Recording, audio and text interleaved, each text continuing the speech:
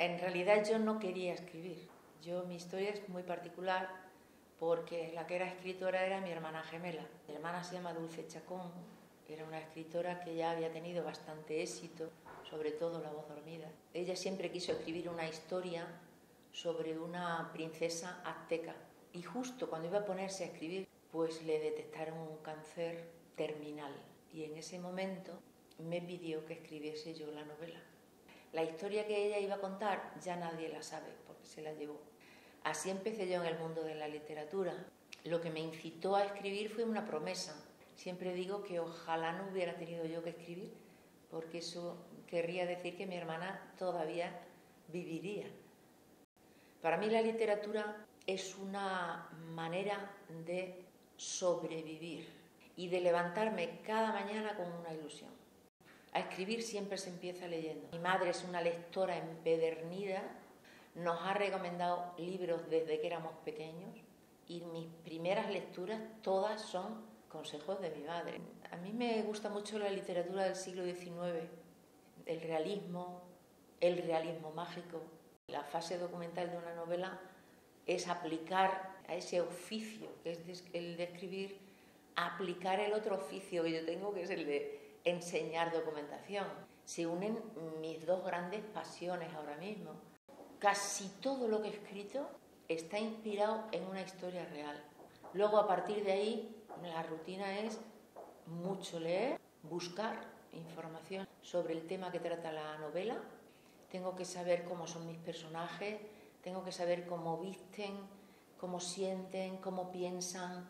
La novela va a ser de ficción, pero los personajes tienen que vivir en un mundo real. He sentido siempre el apoyo de toda mi familia y de hecho siempre me acompañan a las presentaciones cualquier cosa que cualquier evento y mi familia viene detrás siempre. Vivir de la escritura es muy difícil. Yo particularmente no he querido. Mi profesión es ser docente. Y si tengo que pagar la hipoteca, prefiero pagarla con el sueldo que, que me gano en la universidad. Si dependiese de la literatura, para mí la literatura sería una obligación. Una vez que ha salido publicado el libro ya no lo leo. Yo lo que sí hago es corregir muchísimo. Y si lo leo eh, ya publicado y veo algo que no me gustaría, como que diría, esto lo hubiera puesto de otra manera, esto em, no, te causa mucha... Y al final lo que me gusta es escribir, me da igual el género. Cada momento requiere un género u otro. El caso es poder plasmar lo que piensas y lo que sientes, plasmarlo a través de palabras. He escrito mucho sobre mujeres. No es algo buscado, pero sí que es verdad que yo utilizo mujeres muy fuertes, que saben lo que quieren y que luchan por conseguirlo. Porque la vida nos pone muchas más dificultades que a los hombres y tenemos que abrirnos caminos muchas veces entre las piedras. Muchas cosas de lo que sienten mis personajes lo, he sentido yo.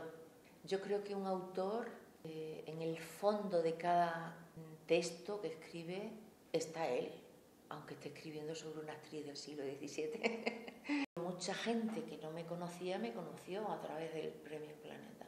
Con los alumnos fue una experiencia para mí preciosa. Yo no suelo decir que, soy escritora, no se lo digo. Normalmente cuando yo llego a clase hay muchos alumnos que están fuera y hasta que yo no paso dentro ellos no pasan. Y ese día estaban todos dentro. Y cuando entré, nada más entrar, empezaron a aplaudirme.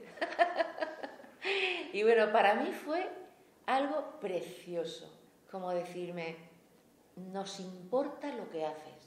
A ver, yo con los alumnos tengo una relación muy bonita. Es una relación siempre de ida y vuelta. Es una relación de aprendizaje mutuo. Y esa es la parte más bonita de mi trabajo. Así que para mí que mis alumnos ese día, cuando yo entré en clase, me aplaudiesen, para mí desde luego se me quedará para siempre. Me parece que un libro cobra muchas vidas, tantas como lectores tiene, y que tiene tantos finales como lectores tiene. El libro siempre lo termina el otro, siempre. Cada lector tiene su impronta. Y el acto de leer es un acto creador.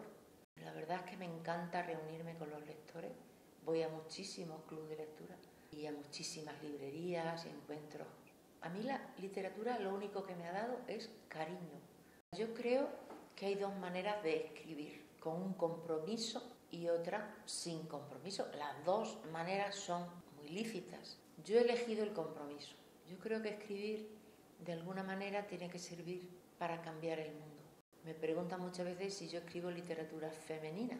Y yo creo que la literatura tiene que ser literatura, ni femenina ni masculina. Grandísimos escritores han tenido protagonistas femeninas. Flaubert, Clarín, Galdós. Y a nadie se le ocurrió preguntarle si escribía literatura femenina.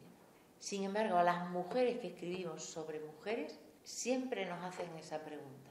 Luego yo creo que hacen falta más hombres que escriban sobre mujeres y más mujeres que sigan escribiendo sobre mujeres. Porque al fin y al cabo hemos llegado a todas partes muy tarde y por lo tanto tenemos que recuperar mucho camino. No represento al escritor que ha tenido que, buscarse la vida, que ha tenido que luchar por... A mí me estaban esperando. La editora de mi hermana Dulce sabía que yo iba a escribir la novela que Dulce ya no iba a poder escribir. Una editorial muy importante porque era Alfaguara. Yo siempre digo que he tenido esa suerte y que ojalá no la hubiera tenido, porque significaría que la habría escrito mi hermana Dulce.